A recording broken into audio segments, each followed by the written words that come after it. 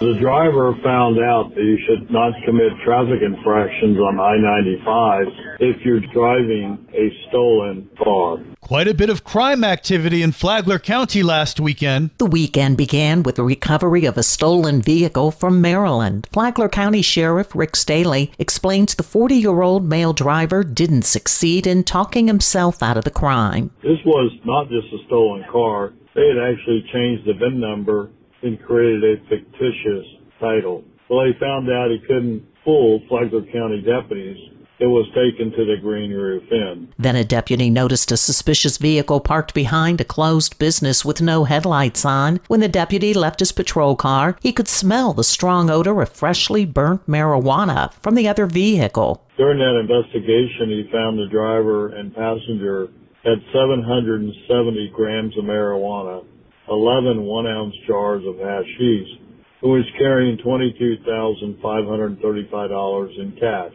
The man and woman in the car were arrested. Plus, there was one other instance of a person driving while under the influence of marijuana on I 95 Sunday afternoon, passed out. Sheriff Staly says the deputy's action probably prevented someone from getting killed. In all, Flagler County Sheriff's Office deputies made 16 arrests this past weekend, handled 555 calls for service, and made 85 traffic stops. For Flagler's local morning news, I'm Karen Johnson.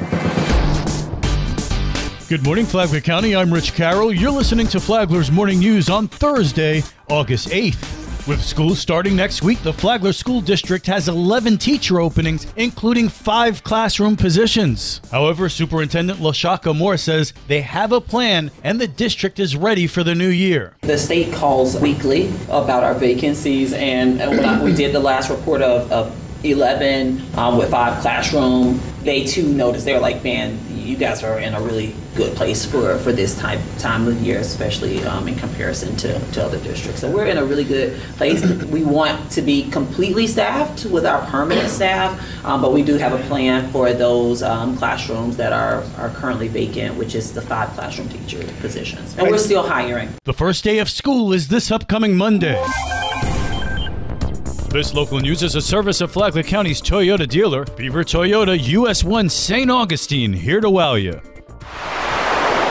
Today, we're celebrating one year of serving our community with compassionate care and cutting edge medicine. Advent Health is celebrating the first anniversary of its second hospital in Flagler County. The 100 bed facility on Palm Coast Parkway opened its doors a year ago, serving almost 29,000 patients over that time, including 5,300 inpatient visits, 16,700 outpatient visits, 30,000 emergency room visits, and 1,400 surgical procedures. Advent Health built the 167 million facility to meet the needs of a growing community, citing a 36% increase year over year in ER visits and a 35% increase in hospital admissions in Flagler County alone. To mark the occasion, Advent Health shared a message from President and CEO Wally De Aquino. It has been an incredible journey made possible by God's blessings, the dedication of our staff, and the trust of our patients.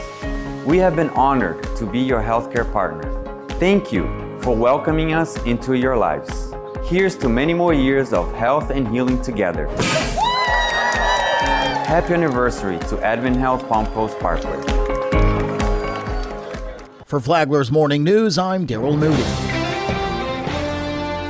The newest Flagler County Public Library is small, but its technology packs a punch. The library in Palm Coast is about 30,000 square feet. The one in Bunnell is 3,000 square feet. The new library that's part of the Nexus Center will be 12,000 square feet, but it will be high tech and state of the art. Here's Holly Albanese. You're going to have what's called an innovative lab where we can teach classes, whether it be coding clubs or use of the computer. And they could do 3D printing in there. There's a lot of things we can do. There's also going to be a podcasting room. Albanese said that the library will have a separate entrance and that people don't have to go through HHS or the main entrance to get to the library. Free for All Friday is on Fridays at 9 here on WNZF, and it's on the Flagler Radio app anytime you want to listen. Tomorrow, all the deets about the new digs from the WNZF newsroom. I'm Deb Albertson.